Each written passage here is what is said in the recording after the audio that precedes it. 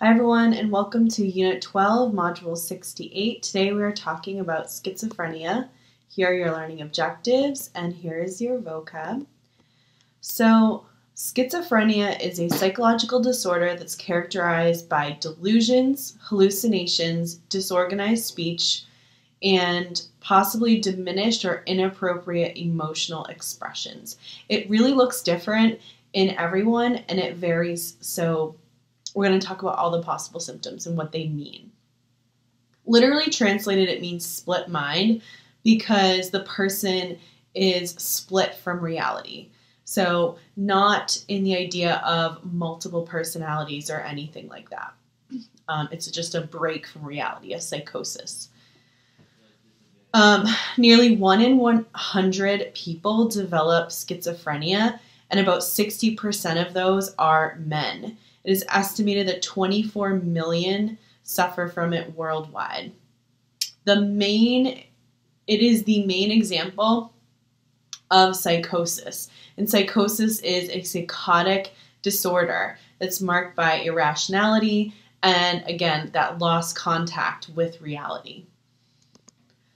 So, one of the symptoms that can occur is delusions, which are false beliefs. They're often of persecution or grandeur, and they may accompany those psychotic disorders. So it could be something like feeling like they're talking to God, or that they are God, or that people are out to get them, the government's out to get them, or someone in particular is out to get them, things like that. Those would be delusions. They're thoughts that are clearly not based in reality. Hallucinations are false sensory experiences, such as seeing something in the absence of any visual stimuli. Most often, the hallucinations with schizophrenia are auditory. Um, they're usually voices that are making insulting remarks or giving orders, and they could, they're usually, you know, very un- unfriendly um, most of the time where they're telling them how awful they are or stupid for making mistakes or whatever they're questioning everything that they're doing while they're trying to do it um, or telling them to do things that can cause themselves harm. Um, disorganized thoughts kind of come from this breakdown in reality and so they're having trouble with their selective attention. They're not able to focus the way someone else would be able to use selective attention and process out like little details. Like they'll notice like the little like grooves on something that they're looking at and they'll just focus on that or talk about something that's it's just completely unfiltered. Um, so emotions expressed can be inappropriate or just like completely disconnected from reality. So, for example, someone laughing when they're recalling their grandmother's death or um, being um, angry for really no reason out of nowhere. Um, the emotions are just disconnected from reality. Others can lapse into flat affect. So this is kind of the opposite. Flat affect, they have, um, they show no emotion, and behaviors can be off as well. So some examples of this are rocking back and forth, rubbing their arms. Some can exhibit catatonia, where they just remain completely motionless for many hours um, and then maybe afterwards becoming agitated. So, all of these inappropriate emotions and behaviors can make it really difficult, obviously, socially or to hold a job, and more so than other disorders um, from what people have um, seen in studies. So, given proper support and medication, over 40% of patients can have periods of a year or more where they just experience normal life. Um, but the problem is that many people with schizophrenia do not receive or have adequate health care, they don't have adequate family support. And so, without those things, they are lost um, and socially isolated. And so, you see this especially again with those of lower socioeconomic status who cannot who don't have the same family connections necessarily. They don't have the same access. One in 100 people like we said can have schiz- or have schizophrenia and it is not a culture bound disorder meaning it happens across the world and it typically begins in young adulthood and it's more common in men than women and actually the onset with men is on average four years younger compared to women.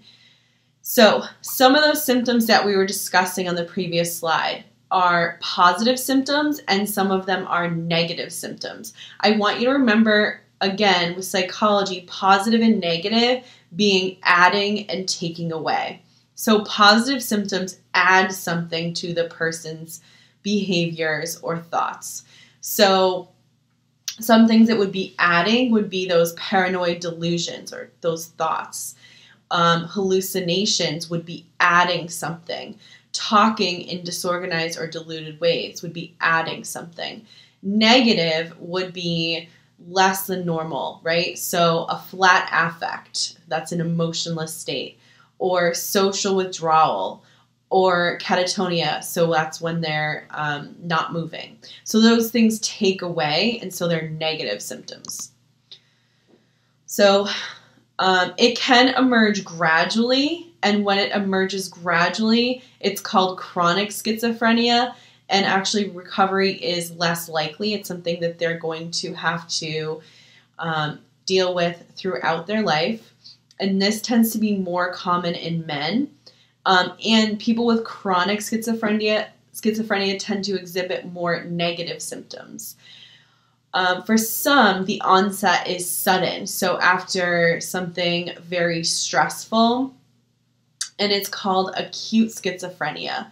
And recovery is more likely, and they're more likely to have positive symptoms. And those positive symptoms do work better with drug therapy. So, what we know is that there are many brain abnormalities with people who have schizophrenia. One of them is an excess of dopamine receptivity, meaning they have more receptors for dopamine, and that excess dopamine is linked to symptoms of schizophrenia. It can intensify hallucinations and those paranoia um, experiences. So it's adding to those positive symptoms. They're drugs that the drugs that help schizophrenia block dopamine to lower that and balance that out.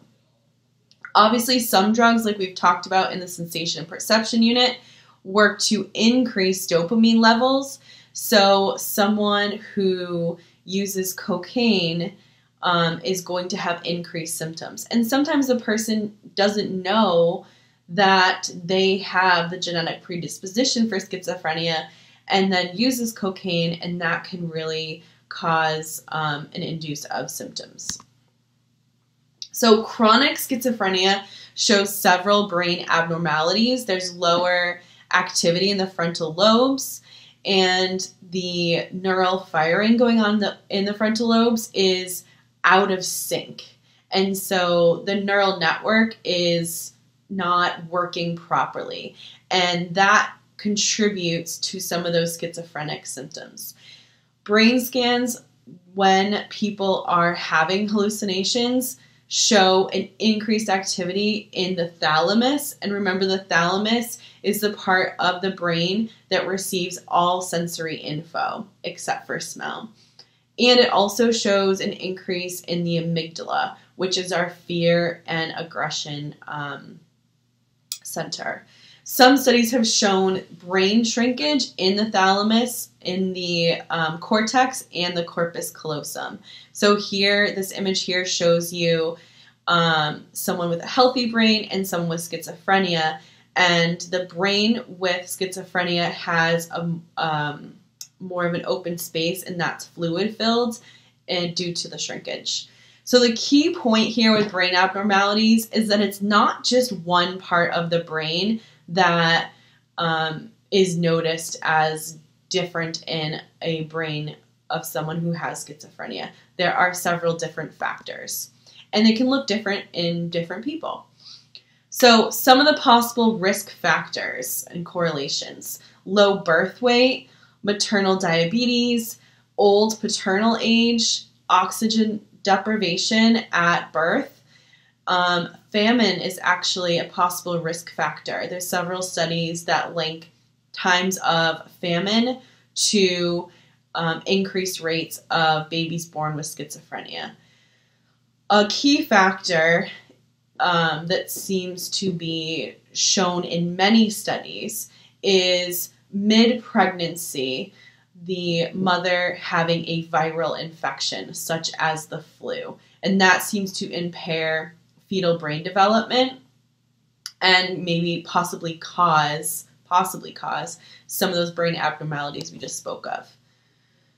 So, obviously, viral infections aren't the only reason, since we're only talking about 2% of women who get the flu actually get uh, have children with schizophrenia. Adoption studies also confirm that genetic link and environment can basically turn on those certain genes. So you can have the genetic predisposition to have schizophrenia and not get schizophrenia because you need both the genetic predisposition and those environmental factors. So some of these are in utero and some of these are um, after birth.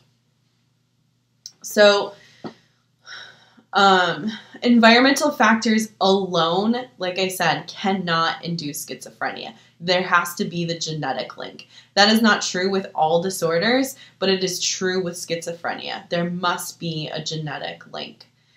Um, researchers want to identify high risk children by understanding more about these environmental factors. So, here are some things that they found.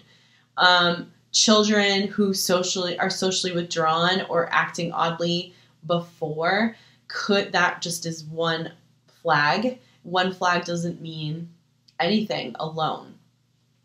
A mother who has severe schizophrenia um, birth complications like we said such as lack of oxygen deprivation low birth weight being separated from parents early on short attention span or poor muscle coordination seems to have a correlation, disruptive or withdrawn behavior, emotional unpredictability, and poor peer relations or solo play. So, those all seem to be um, risk factors or flags.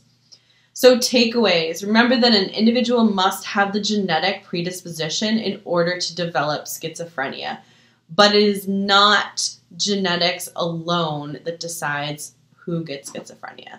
There's environmental factors to that influence the genes.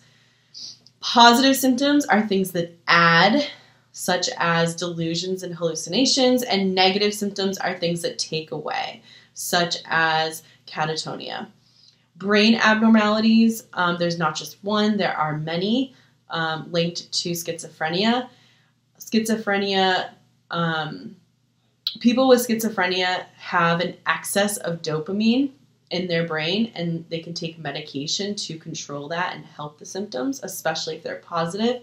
Viral infections mid pregnancy seem to have um, a clear increase of risk in a child getting schizophrenia. And finally, it is more common in men than women. So that sums up Module 68 on schizophrenia, and I will see you in class. Thanks, guys.